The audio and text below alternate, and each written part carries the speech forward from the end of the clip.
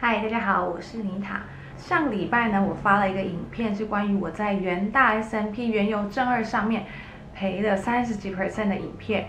那下面有很多朋友留言给我，或是在 Facebook 留言给我说，才赔一万多块，你干嘛要这么伤心？一万多块根本就是小钱。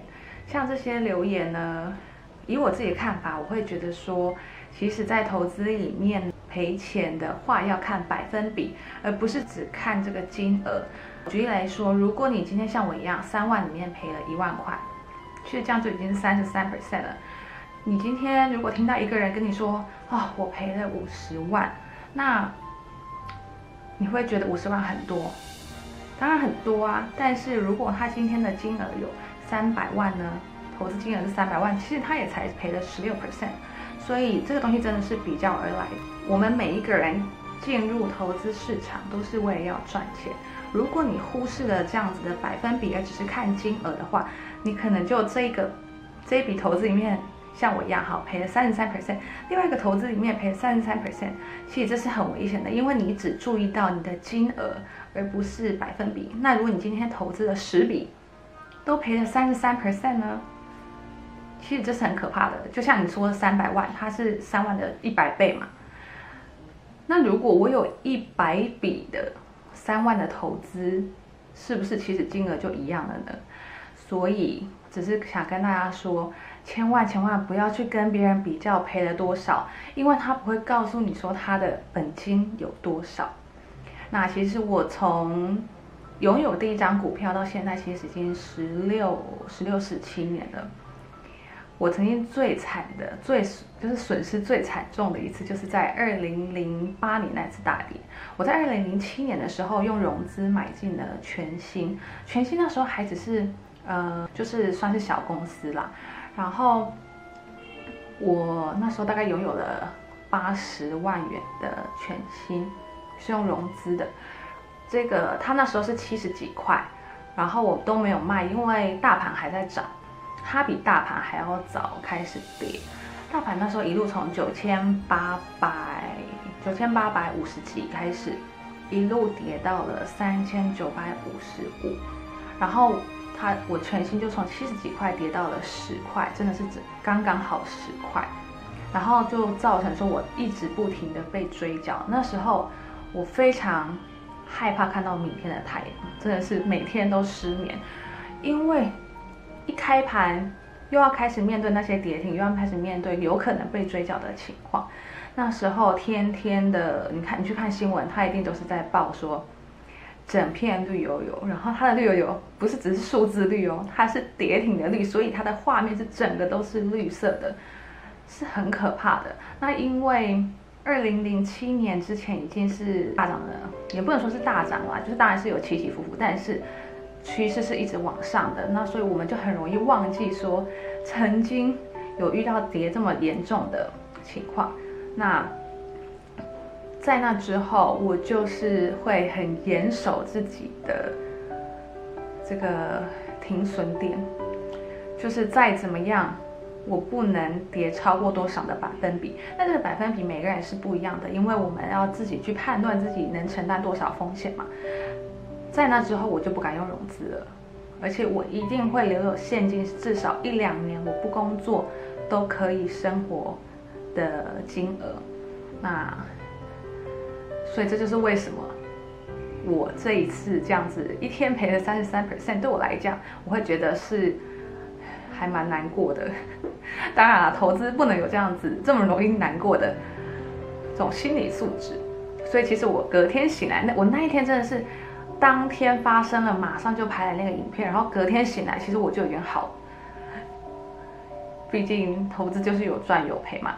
最重要的是，我们要在下跌的时候能够保留住你的现金。那不管是，嗯，就是真的不要不要去凹单，不要去凹单，因为你很可能。赚了这么多年，然后就赔在这一次，赔在这一次就赔光了，然后你就开始慢慢慢的存钱，所以，我真心的希望说大家不要再去比说看到谁赔的多，觉得自己就可以好过一点。因为投资是自己跟自己的比赛，我们从每一次的赔钱中学习到该怎么样赚钱。那当然，赚钱的时候很好，我们还是要有危机意识，要有风险意识，总不能就每一次就像大赚大赔，那一直在做白工啊，我觉得是很可惜的。那在二零零八年的这一次大跌，其实对我造成了非常大的影响。因为我本来是打算二零零九年要去美国读英语教学的，那因为不停的被追缴之后呢，也没有钱可以去读书。然后我后来去澳洲打工旅游，打工旅游，我去当了麦当劳的柜台，然后还有去饭店打扫。那时候一天有时候工作超过十五个小时，然后一个月赚十八、十九万台币。刚好也是遇到说澳币还很不错的时候，那这样子的经验其实对我的人生来讲也是改变了很多，因为让我可以去面对很多未知的状况，是很有机动性的。就像我自己现在在旅行也是一样，我可以不做任何的规划，然后到当地再去看情况，然后想办法，就是过得很随性这样子。那我觉得这都是在澳洲那一年对我的影响。去澳洲打工旅游这一段时间呢，呃，对我来说也是很美好、很棒的回忆。但就是人生就转了个弯，就是完全不一样了。所以我对于风险控管上面，从此就变得比较谨慎。然后我会留下至少一两年不用工作，然后也都还可以生活的现金。就是要为了，呃，未来做准备嘛。也许你会在上涨的时候失去了一些赚钱的机会，可是当它反转的时候，你你的受伤也就不会那么重。一定要做好你的资金控管，不能把全部的钱都放在股市里面。然后下跌的时候，你才会有钱可以再投入投资市场里面。长期下来。你就会是赚钱的。祝大家投资顺利，然后希望下次下面的留言都会是你们告诉我说你们已经赚了多少，而不是比说谁赔的多。我真的不想要参与这种谁赔的多的这样子的比赛。我也希望你们不需要面对这样子的情况。很奇怪哦，好像大家很喜欢讲说。会出来留言的比较多，是说赔了多少。如果是赚的人，可能就不会告诉大家。就他其实我赚的时候，我也不会告诉别人，因为好像伤心总是希望可以讨拍一下。所以这一次上一支影片里面才会有这么多人留言，其实我有点惊讶，因为。毕竟这是我第一个关于投资的影片嘛，然后我真的只是当下很想要抒发我伤心的那个情形，伤心的这个感受，然后没想到居然还蛮多人看的。希望下次是因为我发了赚钱的影片，然后你们也告诉我说你们都赚了很多，一起当这个投资市场里的赢家吧。虽然这个是需要很久很久的努力，我觉得。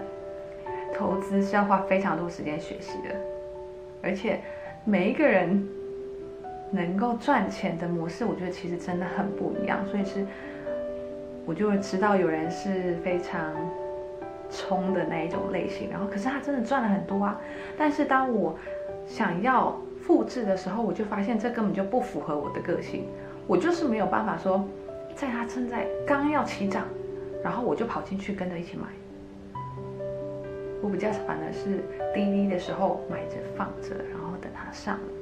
那没有什么对错，投资没有对错，而且有很多的什么技术线型啊，或是各种不同的流派告诉你说应该要怎么样才会赚钱。可是老实说，我觉得没有谁是最好的，只有最适合你的那个投资方式。这个是需要花时间去学习的。那希望我们能够一起赚钱，然后分享彼此的喜悦。好，那希望你们能够再次就是收看尼塔旅行去。